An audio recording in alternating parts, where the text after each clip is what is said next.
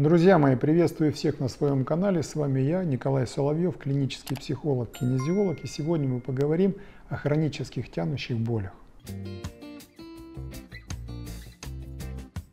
Хронические тянущие боли, как в области шеи, а, где-то в ногах, в пояснице.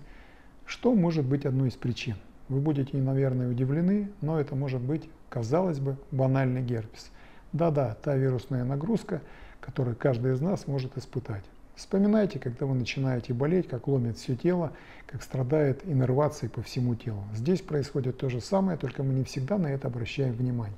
А зря. Что такое герпес? Это вирус, который живет в крупных нервных окончаниях, по сути, убивая их изнутри, то есть ломая иннервацию нашего тела, создавая тянущие боли.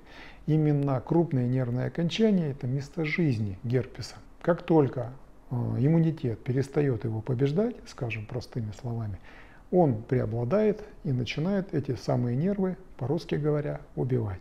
То есть страдает, во-первых, передача сигнала – в нервных окончаниях. Во-вторых, а, теряется физически жидкость, которая там находится, нерв разбухает, и его перемещение, скольжение внутри той оболочки, в которой он находится, тоже резко теряет свои возможности. Соответственно, а, где-то есть физическое пережатие, где-то другие нарушения, но как раз трассы нерва начинают страдать.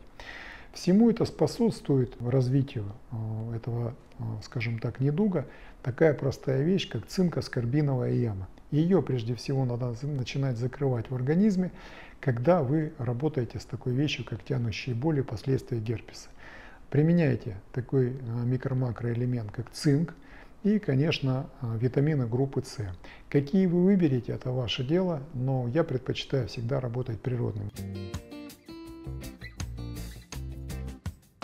Я бы также обратил ваше внимание, что при работе с герпесом стоит уделить особый контроль балансу омега-3 в вашем организме, либо добавить из продуктов, которые вы употребляете, ну, допустим, льняная каша, достаточное количество, чтобы эритроциты тоже могли корректно работать, потому что при вирусных нагрузках стенка эритроцита, это одна из составляющих нашей крови, тоже прилично страдает.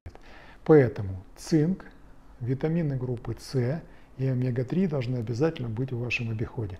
Если нужны какие-то дополнительные вещи природного происхождения, либо фармпрепараты, это уже должны сделать профессионалы, назначить вам их. Поэтому я в своем ролике это не называю. Если вы страдаете тянущими болями в ноге, в пояснице, в шее, в спине, то есть, скорее всего, это все-таки одна из составляющих герпеса. Обратите на это внимание. Жду ваши комментарии и вопросы. Подписывайтесь на мой канал, я буду готов поделиться всем, чем знаю с вами. Всем добра и здоровья!